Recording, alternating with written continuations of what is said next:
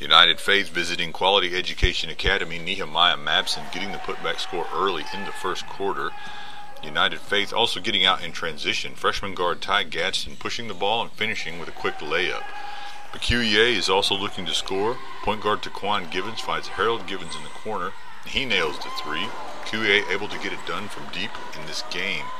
Freshman guard David Strother drives the ball here, puts it off the glass, no good, but big man Ibrahim Diallo is there to clean it up. QEA on the defensive end with a big block right here. Both teams getting after it early.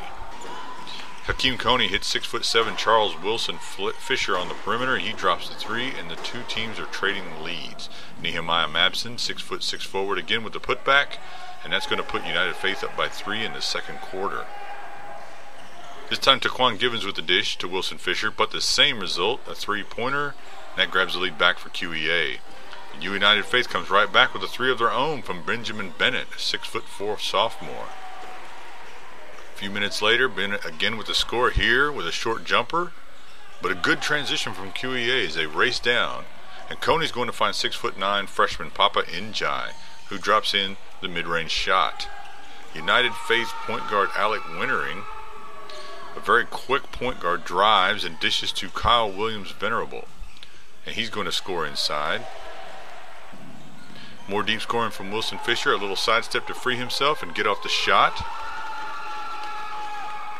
Now Wintering dishing again, this time to Gadsden. And he's going to rattle in the perimeter shot. And now both teams playing at a high level.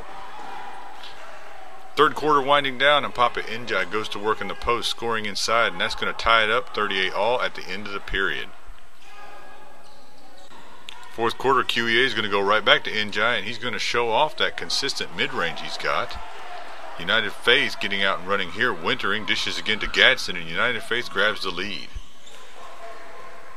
QEA goes back inside. Jordon Robinson gets the ball in the post, shows off some footwork as he scores, and he's going to put QEA back on top. But defense and point guard play went out as Kyle Williams Venerable gets the steal. He's going to feed Alec Wintering.